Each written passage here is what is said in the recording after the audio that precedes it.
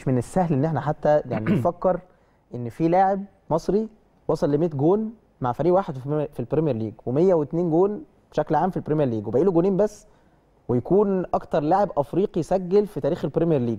يعني هي أرقام بالنسبة لجناح. دلوقتي دروجبا دروجبا فرق جونين دلوقتي بس عن صلاح. جونين فقط بالنسبة طيب. لجناح وده راس حربة كلاسيكي بيلعب يمكن عدد مباريات كمان اللي عملها أكبر بكتير من صلاح. دروجبا عدد ماتشات اكبر صح؟ أكبر صح. بكتير دروجبا قعد حوالي صلاح. 10 مواسم مع تشيلسي. أعتقد يعني لو لم تخني الذاكرة صلاح بيلعب موسم الموسم الخامس ليه. صحيح. فمعدل تهدي- تهديفي مجنون يعني معدل تهديفي كبير جدا لجناح. لما نيجي نقارنه كمان إنه إنه بنح 36 اسيست في الخمس مواسم إنه أكتر لاعب بيلمس الكرة في ليفربول إن عنده فرص كتير جدا إن هو يحطم أرقام كتيرة في في, في تاريخ ليفربول. كل أسبوع دلوقتي بقى محمد صلاح الناس بت بت بتشوف عمل إيه على إن أكيد هيبقى في رقم قياسي مكسور. الناس بس بت بت بتقلق إيه اللي يفوتها.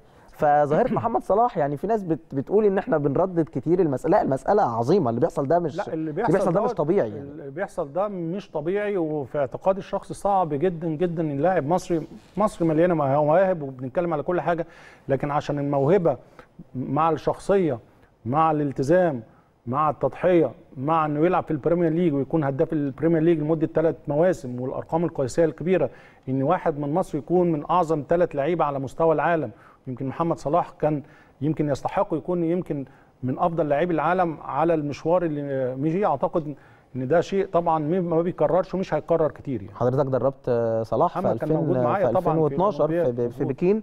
وكانت البطولة دي آه، بعد ما يعني في موضوع بازل كان لسه بالظبط. حامي فانت حضرتك شفت عمل إيه لما لعب مع البرازيل؟ لما لما نزل ماتش البرازيل عمل عمل إيه في مارسيلو؟ عمل وعمل إيه. لعب بمنتهى الأريحية لأن هو عارف لأن دي بالنسبة له مثلا ال 45 دقيقة اللي هو الشوط الثاني بعد ما كنا متعثرين شوية في الشوط الأول ال 45 دقيقة اللي في الشوط الثاني دي بالنسبة له هي اللي هتخليه يسوق نفسه في أوروبا. بيعرف ينقي اللحظات اللي يعني اللي تخلي محمد صلاح فعلا مختلف عن أي لاعب في تاريخ مصر صحيح. وعلشان كده هو يعني مهما اتكلمنا الموضوع مش هيبقى فيه أفورة يعني زي ما بنقول لا لا. اللي بيحصل ده اللي بيحصل ده غريب اللي بيحصل ده غريب علينا وأعتقد إن هو نقلة للاعب العربي بشكل عام يعني مش. للاعب المصري بس يعني. حتى الإنجازات اللي كانت بتحصل من المحترفين العرب زمان بتبقى لقطات كده اللي هو مثلا يعني مع احترامي لكل حاجة رابح ماجر رابح ماجر طبعا. في, في نهائي الشامبيونز ليج واحدة وليه- وفضل في البرتغال في بورتو. صحيح. في مسار كبير نقصه محمد صلاح مشي فيه.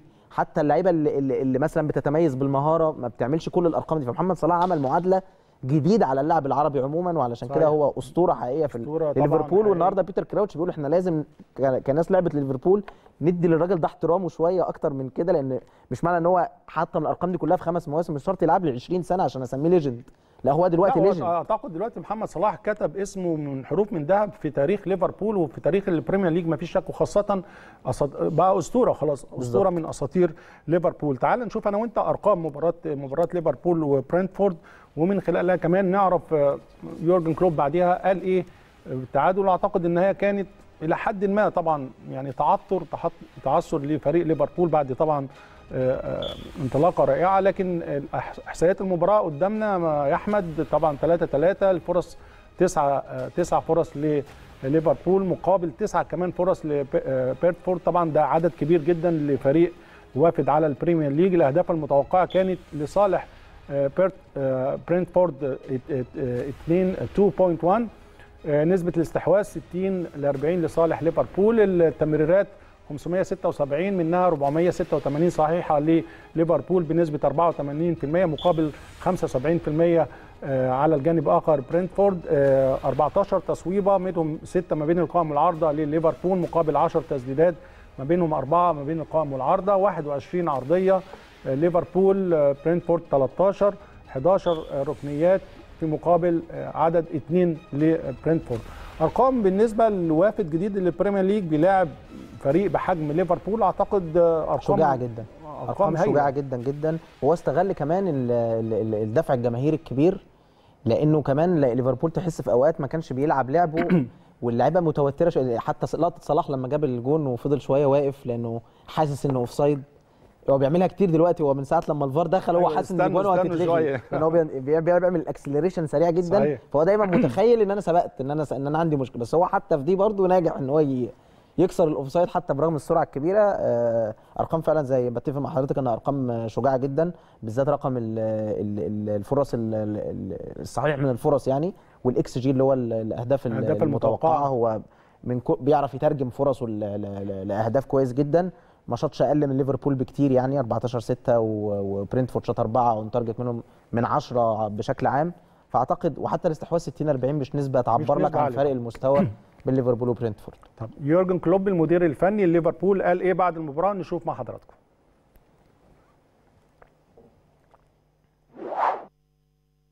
Spectacular, a wild, a wild game.